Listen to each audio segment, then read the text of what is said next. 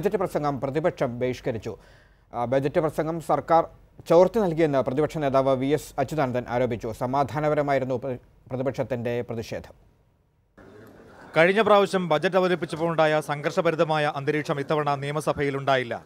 രാവിലെ ഇടതുമുന്നണിയുടെ parliamentary party യോഗം നിയമസഭയിൽ പ്രതിപക്ഷ നേതാവിന്റെ ചേംബറിൽ ചേർന്ന് ബജറ്റ് അവതരണം ബഹിഷ്കരിക്കാൻ തീരുമാനിച്ചു. ബജറ്റ് ചോർന്നുവെന്ന് പാർലമെന്ററി പാർട്ടി യോഗത്തിന് ശേഷം പ്രതിപക്ഷം ആരോപിച്ചു. സഭയിലെത്തിയ പ്രതിപക്ഷം മുഖ്യമന്ത്രി രാജിവെക്കണമെന്നാവശ്യപ്പെട്ട പ്ലക്കാർഡുകളും ബാനറുകളും ഉയർത്തിപ്പിടിച്ചു.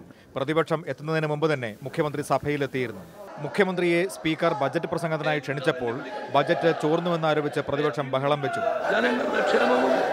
സംസ്ഥാനത്തിന്റെ താല്പര്യവും മാത്രമാണ് ബജറ്റിന്റെ രണ്ട് പേജുകൾ എല്ലാ അംഗങ്ങൾക്കും V Sivankutty M L A വിതരണം ചെയ്യുന്നതും കാണാമായിരുന്നു. സഭ ബഹിഷ്കരിച്ച പ്രതിപക്ഷം നിയമസഭയ്ക്ക് പുറത്ത് പ്രതിഷേധിച്ചു.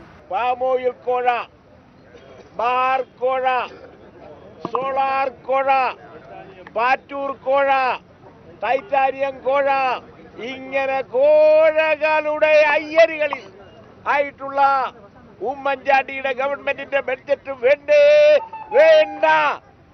ഏത് ബഡ്ജറ്റ് എവിടുത്തെ ബഡ്ജറ്റ് ഇതാണ് ഞങ്ങൾ അസംബ്ലിയിൽ മുഖ്യമന്ത്രിയുടെ നേരെ എറിഞ്ഞ ചോദ്യങ്ങൾ.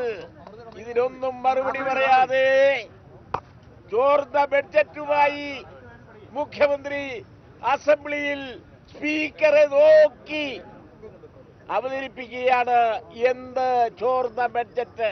ഒന്നേകാൽ മണിക്കൂർ റോഡിൽ നിന്ന പ്രതിപക്ഷം പത്തേകാലോടെ പിരിഞ്ഞു.